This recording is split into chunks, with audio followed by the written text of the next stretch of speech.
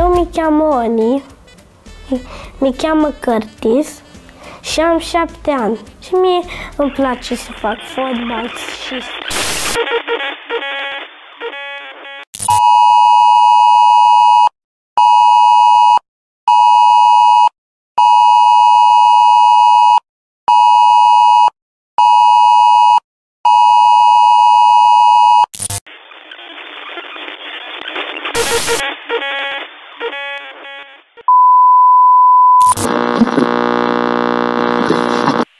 Ne cerem scuze pentru întreruperea programului dumneavoastră. Aceasta este o alertă națională și nu un test. Vă rugăm foarte mult să nu intrați în panică și să ascultați cu atenție acest avertisment. Acest avertisment este difuzat pe toate canalele TV din România. O alertă națională a fost emisă după ce în această dimineață, la ora 0901, în județul Botoșani, au fost raportate 55 de persoane decedate în jurul gărilor. Aceste persoane au fost ucise prin tăierea lor în jumătate în zona brâului.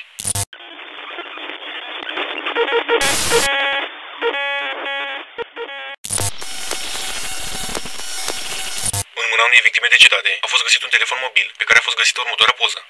După câteva investigații s-a ajuns la concluzia că această poză nu este falsă și că creatura din imagine a comis aceste crime. Numele creaturii din imagine este Teke Teke, aceasta fiind considerată până în prezent ca fiind o legendă urbană japoneză, dar a s-a dovedit că aceasta a fost și încă este o creatură reală. În această legendă urbană japoneză se vorbește despre fantoma unei tinere sau a unei școlărițe, despre care se spune că a căzut pe o linie de cale ferată, unde corpul a fost tăiat în jumătate la brâu de un tren. Ea a fost hărțuită în mod constant. Asta a dus-o să aibă o viață stresantă. Așa că într-o zi a fost la o gară și a încercat să treacă prin mulțimea de oameni, iar mai apoi a fost năvisă de unul dintre oameni și a căzut pe șinele de tren, unde corpul a fost tăiat în jumătate la brâu de un tren. Apoi a apărut ca un spirit răzbunător care ucide oameni. Ea este un Onryo, sau un spirit răzbunător, care pândește noaptea în zonele urbane, în special în jurul gărilor. Deoarece nu mai are corpul inferior, călătorește fie pe mâini, fie pe coate, trăgându-și partea superioară a trunchiului și scoțând un sunet de zgâriere sau teche-teche în timp ce se mișcă. Înălțimea acestei creaturi este estimată undeva la vreo 60 de centimetri.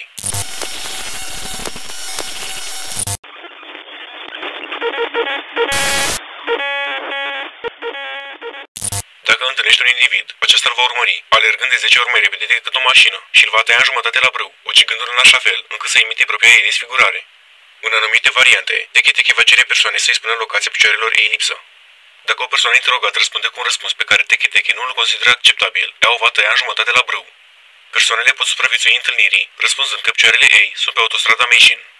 Unii dintre posibili supraviețuitori au spus că în timp ce mergeau sare pe stradă, aceștia au auzit pași rapizi în spatele lor, iar după ce pașii au ajuns până aproape de ei, aceștia s-au oprit, iar când ei s-au uitat în spate nu era nimeni.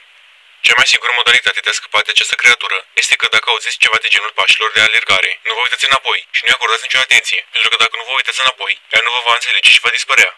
Se mai spune uneori că creatura le va rosti numele persoanelor pe care le urmărește, folosind vocea unei persoane cunoscute lor, dacă aceștia nu s-au întors să se uite în spate la auzirea pașilor ei.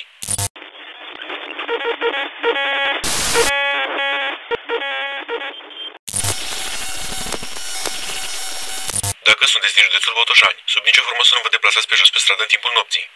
Dacă sunteți din județul Suceava sau Iași, sub nicio formă să nu vă apropiați de nicio gară în timpul nopții.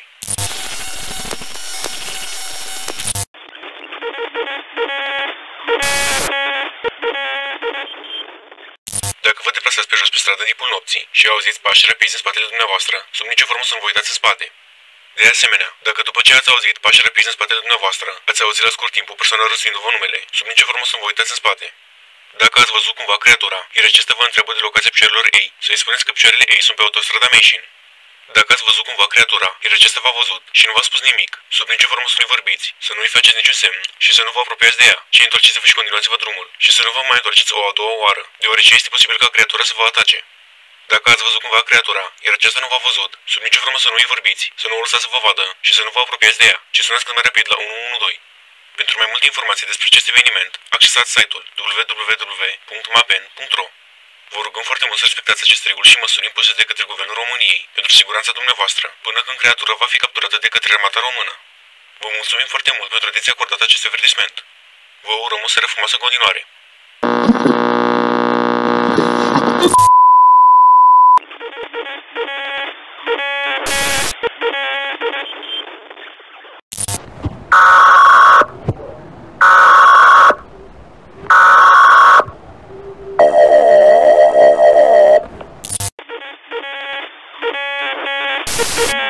Și să fac modeling. Numele meu este Michael Ide.